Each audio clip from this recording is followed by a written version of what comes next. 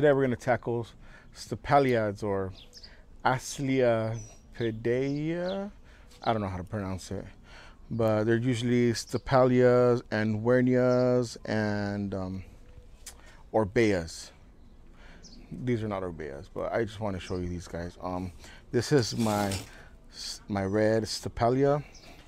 It bloomed yesterday, but I wasn't gonna film yesterday. Let me bring it up to you guys. All right, this guy's real heavy.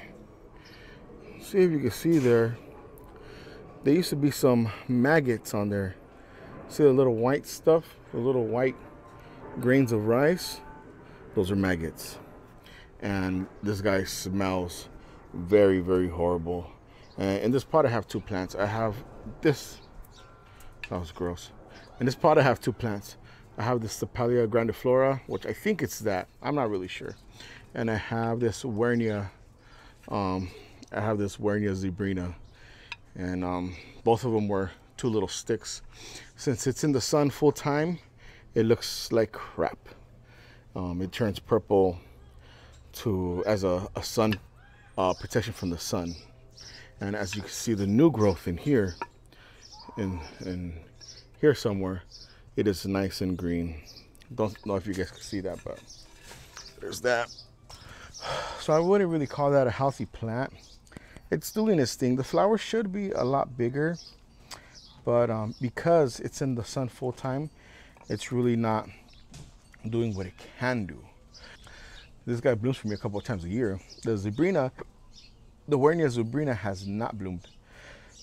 Is I had it right there, but I believe that it is because it is very small. It's still a very young young plant. This pot's not within like a year old or so. They were all sing they were all single cuttings.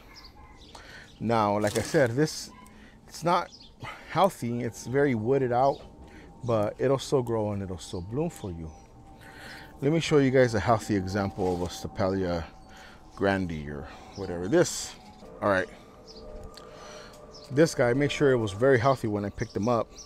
They're gonna go um, they're gonna get mailed out pretty soon. One's going to Canada and the other one's going to. I'm not sure. I'm gonna. I got into a, a trade with the root exchange lady on Instagram for some some I forgot what it's called like zero genus or something some plant that gives perfect little circle leaves. It's like a vine. I can't find it anywhere here. So she has it up for trades. I said I'll give you some really nice stuff. So I'm gonna take her a couple of things. This is an orbea. And this guy has been overwatered because it was under some of my orchids. And um, these guys don't like, no matter how um, fast draining the soil is, the thing is that if the roots are wet overnight, it's going to rot out some. And it usually rots out in the center. Like this is all nice, nice and happy. But the center part's already rotted out. You see how they shriveled up on the insides? The good part is that it's already rooting. So you could go ahead and replant that and it'll be fine. But again, like I said, it is all this this other piece too. This is all gone. And yesterday I found one of my big orbeas. It was in a pot and I had it down here and it wasn't in the sun, but it got rained on and I didn't realize that it was in a tray. So the entire thing started to rot.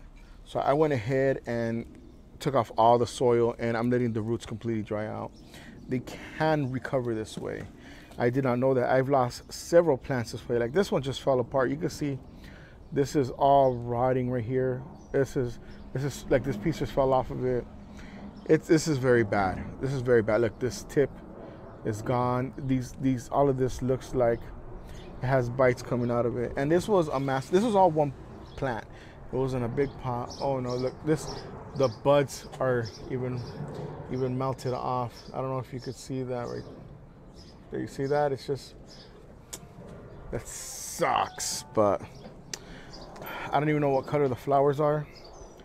And all, all of this, look, look, this is just one enormous plant. The good thing is I did not lose the entire thing. It is very salvageable and it will recover. These plants are very, very hardy. I don't, I don't care what anybody says. They're very, very hardy. Another thing, my dog trampled on my Hoya. Hoya is not a Stapeliad, but it's in the same Asclepiadaceae family, and he just took this guy out, and it had like some flowers in the tips, and they got knocked out, and I am very disappointed. But I have several of these. But again, it's okay for you to leave them bare root for a while, especially these guys. They come from the deserts where it's super hot, and they will they do much better bare root than submerged with wet roots. And also, I just picked up some Edithcolea, Edithcolea grandiflora, grandiflora. This guy, I've lost several plants already, and I even bought one that is not in good shape. But I bought it because in case I recover it, you know, I'll have two plants instead of just one small plant. But this is him.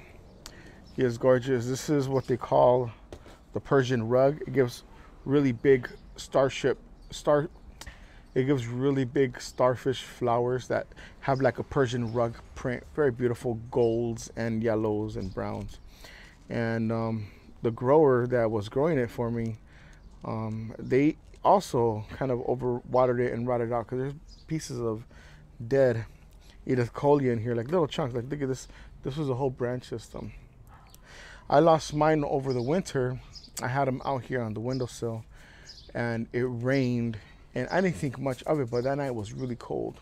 The next day I found it like this, like with patches and kind of like getting gooey. And that same day, it just completely melted. It didn't even give me a chance to take it out of the, the, the container. And the grower told me too, whenever that happens, take it out of the container and let it sit in the sun for a while. Even if it shrivels up, it'll still recover. So I picked this one up and this one that is very, very badly sunburned. Let me, I'm gonna show, well, let me see if I can get up there. Oh my goodness, look at, the, you see that? Whoa, sunlight. It is just bad. There's some green coming in in there, but this guy is very jacked up. And here's, this one is nice and healthy. And I had them both right here under the the sunshade, the sun cloth, shade cloth.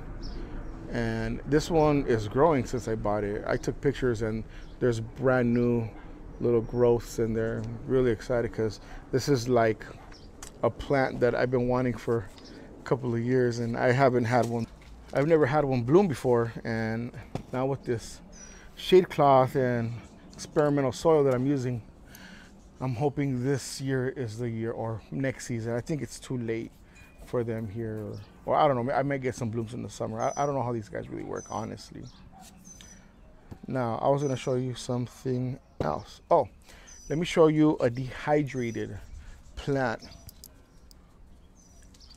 This guy.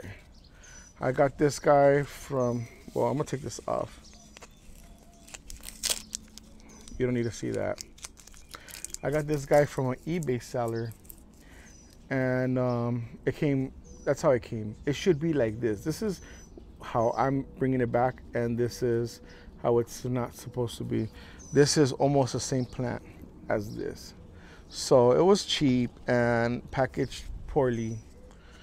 So I'm hoping. Look, look. I don't know what he used as soil. Sucks. The thing is that I don't have enough bricks to put it in my my Stapeliad planter. I, I, need to fill up this little area more and I'll have more places for these guys and many other ones that I have over there and so yeah I don't have room on the brick planter yet. I am not done with it. I need to go pick up another couple of cinder blocks. I'm also going to move this more forward because it's hard for me to pass by. This is actually the way to the backyard and it's hard for me to pass by without stepping on some of these and I don't want to put some plants there that are going to be stepped on. So before I throw them on there I'm going to have to redo a lot of stuff here and especially how the camera is mounted up it's on a tripod right now if you guys have some of these make sure they're not inside your house or near a window I actually have one by the window this is the same plant and um, the flowers are bad. So when it opens up and the windows open, the whole scent goes in there. I don't care. I don't sleep there. So that's it. Um, go ahead and give me the thumbs up, rate and comment, subscribe, share, do whatever you need to do. Okay, thanks. Till next time.